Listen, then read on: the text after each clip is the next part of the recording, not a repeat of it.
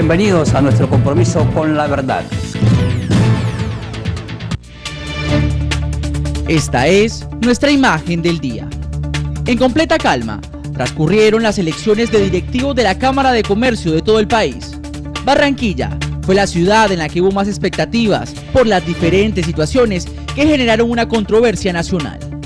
De este tema estaremos hablando en el transcurso de nuestra presente emisión.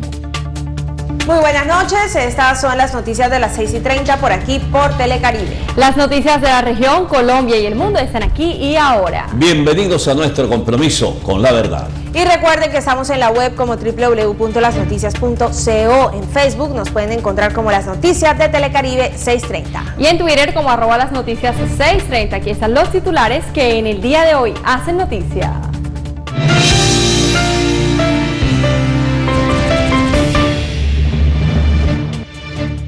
Versión periodística asegura que General Alzate habría ido a buscar comisión de minería ilegal. Portal Las Dos Orillas toma versión del diario El Colombiano. Operativo envolvente del Gaula obliga a plagiarios a abandonar a su víctima en el sur de Bolívar.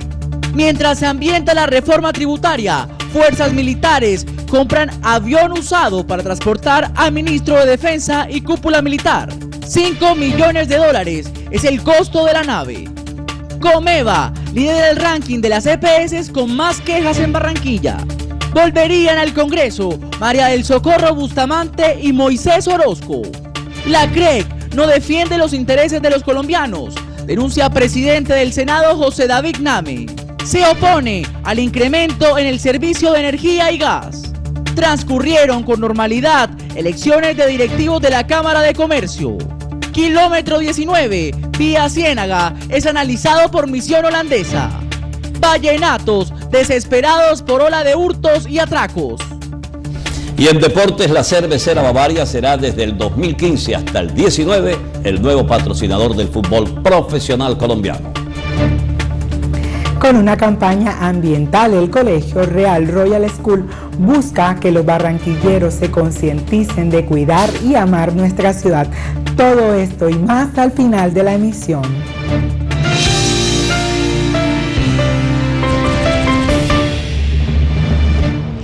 Muchísima atención, el portal web Las Dos Orillas publicó un artículo sobre una nueva versión del secuestro del general Alzate. Esta tomada por el diario El Colombiano que revela que el alto oficial habría ido en busca de una comisión de minería ilegal. Según lo manifestado por los periodistas de ese portal, el alto oficial habría llegado hasta el caserío de las Mercedes y fue contactado por tres personas que lo llevarían a un encuentro con emisarios de grupos que manejan la minería ilegal en el Chocó. El portal asegura que el oficial no fue abordado por guerrilleros dentro de la población, como él dijo, sino interceptado en el recorrido del río. En otros hechos importantes, en un rápido operativo adelantado por hombres del grupo Gaula de la policía al sur de Bolívar, se logró el rescate de un capataz quien habría sido secuestrado hacía varios días por delincuentes comunes, quienes además exigían una gruesa suma de dinero a cambio de su liberación.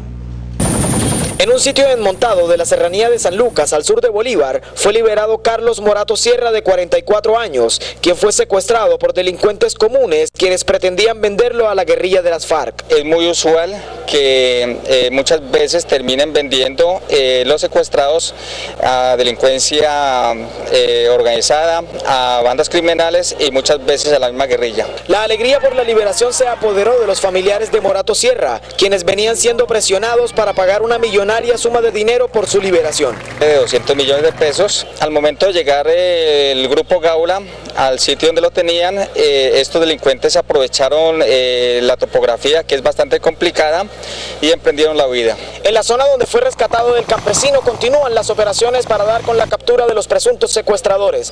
Desde Cartagena, Carlos Enrique Rivera, las noticias, un compromiso con la verdad. La Fuerza Aérea Colombiana salió al paso a la polémica por la compra de un avión que según los medios de comunicación sería para uso del presidente de la República, el ministro de Defensa y la cúpula militar. La compra de la nave por más de 5 millones de dólares se da en medio del ambiente de una reforma tributaria. El general Guillermo León, comandante de la Fuerza Aérea, aseguró que el avión no fue comprado para uso del presidente. También aseguró que no fue adquirido con gastos reservados de las fuerzas militares. Y muchísima atención, la rifa regional recuerda que este sábado 6 de diciembre juega el octavo anticipado y en esta ocasión ganarán también las boletas con las tres últimas cifras del anticipado. Rifa regional Progreso para Barranquilla. Vuelve y juega Comeva en la mala prestación de servicios. En el caso de hoy, la víctima es un menor de tan solo 7 años. De Bianca Estupari conocimos su calvario con Comeva, pero a esto se le suma la demora en la asignación de citas. Las citas no te las dan cuando tú llames, sino a los 15, 20, 30 días, 60, ok. Pero este no es el único caso. Él es Carlos González. Su niño de 7 años tiene problemas renales. A la edad de 2 años le fue retirado un riñón y por ende el tratamiento y control médico debe ser riguroso. Comeva siempre coloca trabas cuando le van a dar la orden al niño porque dice que tiene que entrar a un proceso. Su niño Juan Sebastián, aún amparado por la constitución política por ser un menor, se le violan sus derechos. el señor nefrólogo, que tiene que verlo cada seis meses, no lo está viendo cada seis meses como, como debe ser. ¿Qué hace la Superintendencia de Salud ante casos como estos? ¿Qué ha hecho el gobierno para frenar la corrupción en las EPS? Y ese es el ranking de las peores EPS de la región Caribe liderado por Comeva. Aquí está el informe de las noticias. Después de conocer tantas y tantas denuncias de usuarios de Comeva, nos dimos a la tarea de mirar cuáles son las tres EPS que se encuentran en el ranking de las más denunciadas a nivel nacional y también a nivel local.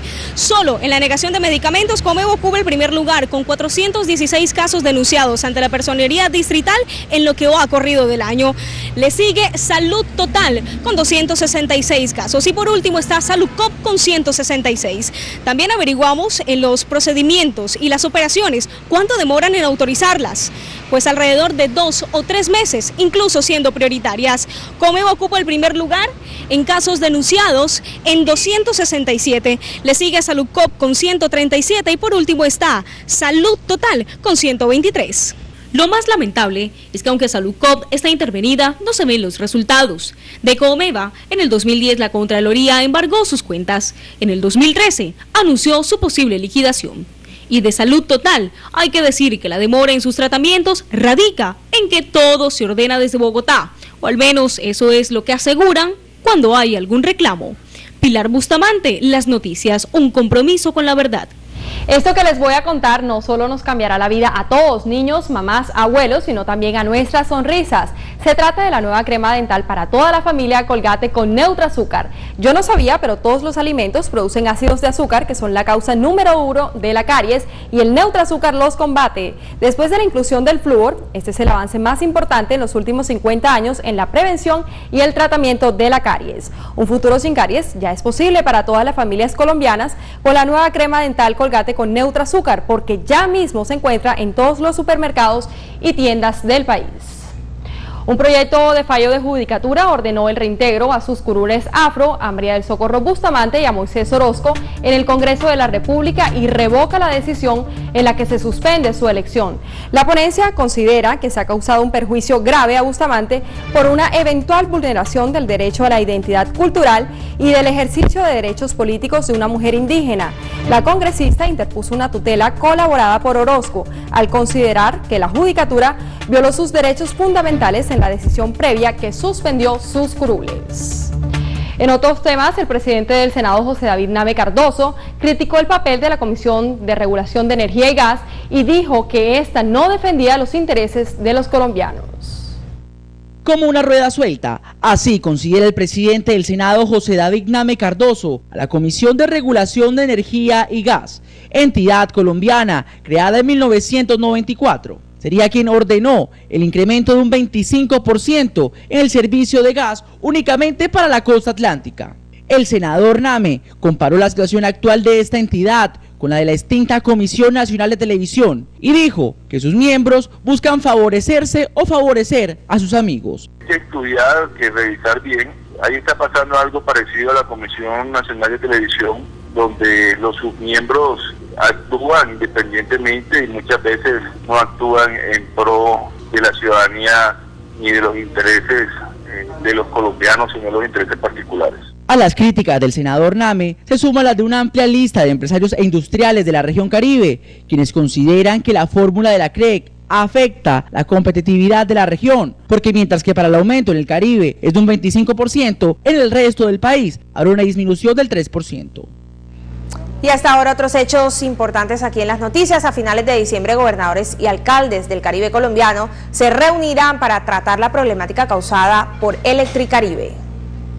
Ante las innumerables quejas en toda la región Caribe por el servicio deficiente de energía, gobernadores y alcaldes del Caribe colombiano convocarán una cumbre con el ministro de Minas y Energía para tratar temas de gran preocupación como las 72 muertes por electrocución y las pérdidas millonarias en electrodomésticos que aún no han sido resarcidas a los usuarios, lo que tiene a la empresa Electricaribe bajo la lupa de los mandatarios. Y es un tema que ya se ha venido tratando con el ministro y aspiramos que antes de terminar diciembre hay una gran cumbre de gobernadores y alcaldes para eh, el tema específico de energía eléctrica en la costa caribe colombiana. El gobernador del Atlántico aseguró que la prioridad es solucionar el tema de ineficiencia en el servicio eléctrico cuando se afecta seriamente la luz, normalmente muchas comunidades salen a protestar. Murió en el caso de Campo de la Cruz un muchacho inocente que no tenía por qué morir y esos son temas también que nos tienen muy preocupados y que hemos venido dialogando con el ministro durante todos estos meses.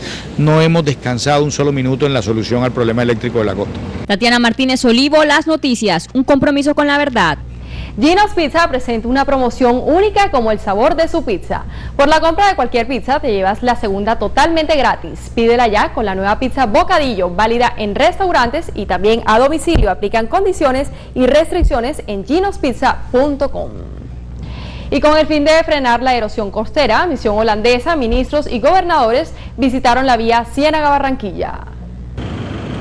En el kilómetro 19, vía Ciénaga, delegados de Holanda revisaron los efectos de la erosión costera y anunciaron a los primeros mandatarios de los departamentos del Magdalena y el Atlántico que el país europeo aportará millonarios recursos para frenar este problema. El ministro de Ambiente, Gabriel Vallejo López, expresó cómo se desarrollarán estas obras. El gobierno holandés que nos está acompañando desde el punto de vista técnico y también con un apoyo económico para solucionar este problema. Tenemos una solución que creemos va a ser para los próximos tres años y una solución que aspiramos sea ya para los próximos 80 o 100 años. De igual forma, el ministro explicó los detalles que se realizarán en el kilómetro 19, 28 y 38. Lo que se está planteando es traer gran parte de la arena eh, que se ha ido yendo a través de un dragado y vamos a traerla próximamente. Ya se han puesto a disposición de las personas que hicieron el planteamiento una serie de carros, de camiones. Estas declaraciones fueron dadas al término de la visita de campo del Ministerio de Ambiente, de Transporte y las gobernaciones de Atlántico y del Magdalena para revisar las obras de mitigación de la erosión costera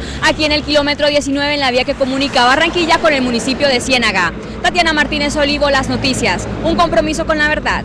6 y 42 minutos, a donde vaya siempre hay un Banco Colombia a la mano, corresponsal bancario para pagar tus facturas, consignar y retirar. Encuéntralo en la aplicación de tu teléfono inteligente como buscador de puntos de atención o en bancolombia.com.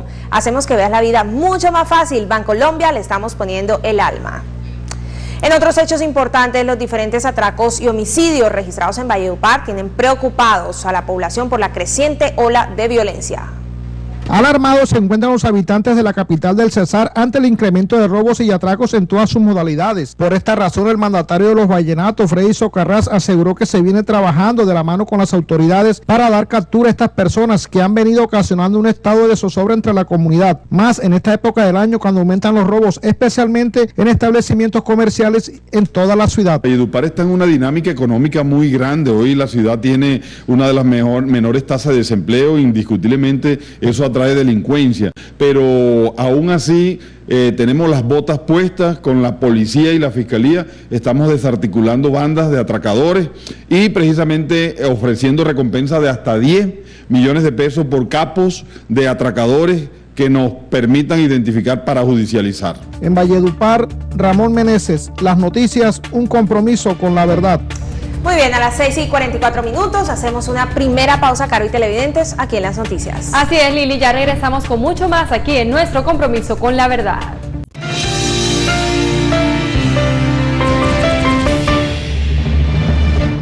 Continuamos con más información en las noticias. Un nuevo estancamiento sufrió el proceso contra los implicados en el crimen del exdirector de regalías de Córdoba, Jairo Zapa Pérez, tras la operación interpuesta por la defensa del confeso asesino, quien solicitó nulidad parcial del proceso por desconocimiento de un preacuerdo establecido en agosto entre el acusado, la fiscalía y familiares de la víctima. El abogado del confeso asesino de Jairo Zapa defiende la existencia del preacuerdo en el que además estableció que el crimen fue por motivos pasionales y fue tipificado como homicidio simple y no agravado. En mi criterio eso es gravísimo y ojalá el país conozca que si hace carrera esa posición de la Judicatura de Córdoba, eso significa ni más ni menos que un fiscal puede, a sabiendas de que no va a cumplir un preacuerdo, hacerle falsas promesas a un imputado. La nulidad parcial solicitada en la audiencia de ayer fue negada por la juez penal, quien avaló los argumentos de la Fiscalía, del representante de las víctimas y de la Procuraduría. Revivir ese, ese preacuerdo y darle una terminación como lo quieren sería llegar a un punto, eh, digamos, que no garantice la verdad ni la justicia eh, en este proceso. Una apelación que deberá resolver el Tribunal Superior de Montería impidió la lectura de acusaciones contra los seis implicados en el crimen del exdirector de regalías de Córdoba. Davis Palomino, un compromiso con la verdad. Cámbiate ya claro con tu número de siempre. Recibe más minutos a todo destino para hablar a cualquier operador móvil o fijo nacional. Ven ya y cámbiate para que puedas llenar tu vida de más momentos con los tuyos. Lo que quieres es claro. Esta Navidad todos podemos tener un smartphone activado en prepago claro desde solo 115.900 pesos IVA incluido. Además te regalamos el primer mes de navegación, un elegido ilimitado para hablar gratis y muchísimo más. Y hoy fueron escogidos los nuevos miembros de la Junta Directiva de la Cámara de Comercio de Barranquilla. Así quedó conformada la nueva Junta Directiva de la Cámara de Comercio, encabezada por el empresario Reginaldo Pérez, quien obtuvo la mayor votación con 84 votos. Le siguen los comerciantes Orlando Jiménez, Saúl Ballesteros, Alejandro Duarte, Charles Tagman, Raúl Garay y el representante de la empresa Empaques Transparentes S.A. Alejandro Duarte, uno de los ganadores de la Junta Directiva, expresó que la Cámara de Comercio necesita seguir trabajando por el desarrollo social y económico de todos los comerciantes. Quedamos en la Junta, yo hago parte de la nueva Junta Directiva, pero se necesita que la Cámara de Comercio vuelva a ser lo que fue en, el pasado, una Cámara dinámica, una Cámara eh, eh, que la gente tenga confianza. Esta nueva junta directiva tomará posesión en enero del 2015. Las urnas fueron habilitadas desde las 8 de la mañana hasta las 4 de la tarde. Daniela Molina, Las Noticias, un compromiso con la verdad. Las autoridades investigan los móviles del crimen de un comerciante de productos agrícolas, ultimado a bala la tarde anterior en el barrio El Silencio. La policía trabaja en varias líneas investigativas para esclarecer los móviles y dar con los responsables del crimen de un comerciante la tarde anterior en el barrio El Silencio, al suroccidente de la ciudad. De acuerdo a información entregada por el coronel Aguirre, comandante de la estación, quien atendió el caso, los familiares le manifestaron a los investigadores de la SIGIN que el comerciante no tenía ningún tipo de problemas que pusieran en riesgo su vida. Al, lugar de los hechos, posteriormente llegó un hijo, eh, un hijo que hace dos años no mantiene contacto con él, pero manifestó de que no tiene conocimiento de, de, alguna, de alguna amenaza o algo por el estilo. Sin embargo, vuelvo e insisto, este, los hechos son materia de investigación, no hay una hipótesis concreta. Según el alto oficial, con la colaboración de testigos del hecho, se trabaja en la elaboración de un retrato hablado para dar con los responsables de este crimen que se transportaban en un taxi tipo zapatico. Y para que tomen atenta nota, el incremento en el salario mínimo sería del 4.3%, es decir, 26.488 pesos. Las noticias quiso indagar qué productos de la canasta familiar se pueden comprar con 26.488 pesos.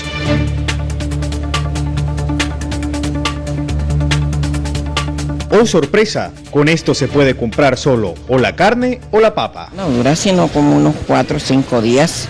Bueno, ¿y si compramos la carne? Bueno, aquí hay una carne más o menos económica, suave, se le puede acomodar hasta 5 mil pesos. Con 26 compra 5 libras de carne. ¿Y eso aguanta para cuánto? Eh, aguanta posiblemente para una libra diaria, 5 días. ¿Y el resto de días con qué se come?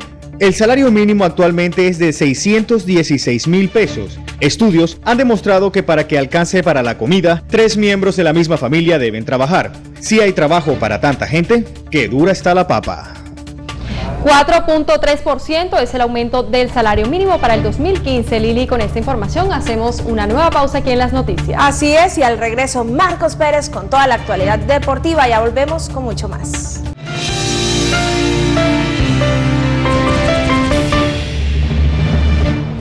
Muy buenas noches, bienvenidos a la información deportiva. El rentado colombiano cambia de nombre. Postobón no renovó su contrato como patrocinador y la cervecera Bavaria se apunta a partir del 2015. El nuevo sponsor del fútbol profesional colombiano será la empresa Bavaria. Postobón no va más como patrocinador de los torneos de fútbol en Colombia. La Mayor anunció en su cuenta de Twitter que en su reemplazo Bavaria con su marca Cerveza Águila será el nuevo patrocinador de los campeonatos de Liga, Superliga, Torneo y Copa del fútbol profesional colombiano hasta 2019. Bavaria está vinculada al fútbol desde hace muchos años como patrocinador oficial de la selección Colombia. El contrato por cinco años se cerró por un monto de 80 mil millones de pesos. Flor Díaz, Ospino Las Noticias, un compromiso con la verdad. Y el equipo Uniautónoma Fútbol Club sigue preparándose con partidos amistosos. En la mira tienen dos exámenes, lo más importante del año, la promoción. Uniautónoma sigue su preparación con miras a afrontar los dos exámenes más importantes del año en los que definirá su permanencia en la categoría del fútbol profesional colombiano. Los universitarios suman cuatro partidos amistosos, el último frente al equipo Samario Macondo Fútbol Club, el cual derrotaron 2 por 0 con goles de Alan Navarro y Hader O'Brien. Compromisos que les ha servido para mantener el nivel y estar en óptimas condiciones para recibir lo que se viene. Ha sido importante, ¿no? Porque el equipo no, no pierde el ritmo los mismos estados físicos nos han seguido bastante, equipos que nos han puesto a correr bastante y eso ha sido muy importante para nosotros. El balance que tenemos de esos tres partidos ha sido satisfactorio por la forma que hemos jugado, por la forma que hemos demostrado el buen fútbol que el equipo siempre demostró. Los delfines acumulan un empate, dos victorias y una derrota. Flor Díaz, Ospino Las Noticias, un compromiso con la verdad. Y el argentino Ramón El Pelao Díaz es el nuevo técnico de la selección del Paraguay por un periodo de cuatro años y con él comienza un nuevo, una nueva temporada, una nueva imagen para los guaraníes que aspiran volver a la élite. No clasificarse este año fue fatal con lo de Brasil. Ellos quieren con el Pelao Díaz estar en Rusia en el 2018. Por su parte, el Quindío y Río Negro estarán protagonizando en pocos minutos el segundo tiempo de la final de la B el Estadio Centenario de Armenia, Quindío recibe al Río Negro para definir el campeón del torneo de ascenso en el segundo semestre. El que resulte vencedor de la serie deberá jugar con Jaguares la gran final, que dará un cupo a la primera división del fútbol colombiano, mientras que el perdedor jugará la promoción frente a un autónoma. En el primer partido los antioqueños tomaron ventaja al ganar 1 por 0 en el estadio Tulio Espina de Bello, gracias a la anotación de Juan Esteban Suescún al minuto 39 de la segunda parte. Si los cafeteros ganan por un gol de diferencia, el campeón se definiría a través de los penaltis. Si es de dos goles, los de Armenia lograrían el paso a la gran final. Mientras tanto, si el partido termina empatado o a favor de los Leones, serán ellos los que enfrenten a Jaguares. Flor Díaz, Ospino Las Noticias, un compromiso con la verdad.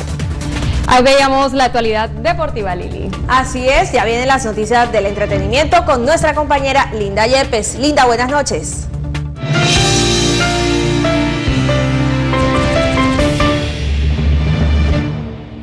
Muy buenas noches, bienvenidos a la mejor información del entretenimiento.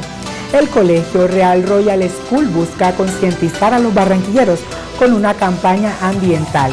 Cuida Barranquilla para que todos amemos y cuidemos esta hermosa ciudad. El Colegio Royal School se ha unido a la labor social de concientizar a todos los barranquilleros para que conserven y cuiden su medio ambiente. Este es uno de los muchos proyectos que tiene el Club de Ecología de la escuela en tu casa no lo harías, Barranquilla también es tu hogar. Ese es el lema que identifica esta campaña, al que varios emprendedores, estudiantes de esta alma mater, le enseñan a los transeúntes de la estación de Transmetro a cómo comportarse en la ciudad. Este proyecto consiste más que todo en crear conciencia ciudadana y mostrarle a Barranquilla que tenemos que cuidar el medio ambiente, ya que es una cosa hermosa y no podemos dejar que se destruya.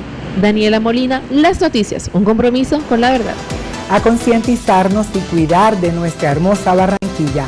Nuevamente los artistas colombianos están nominados a importantes premios, esta vez en los premios Lo Nuestro que se realiza este febrero del 2015. En febrero de 2015, los premios Lo Nuestro a la música latina cumplen 25 años y para esta versión, nuestros artistas colombianos son nominados en diferentes categorías. Es el caso de J Balvin, quien sigue cosechando éxitos a nivel internacional. Balvin está nominado a Mejor Artista Premio Lo Nuestro del año. Al llegar a alzarse con el galardón, ratificaría su talento y que está en el mejor momento de su carrera.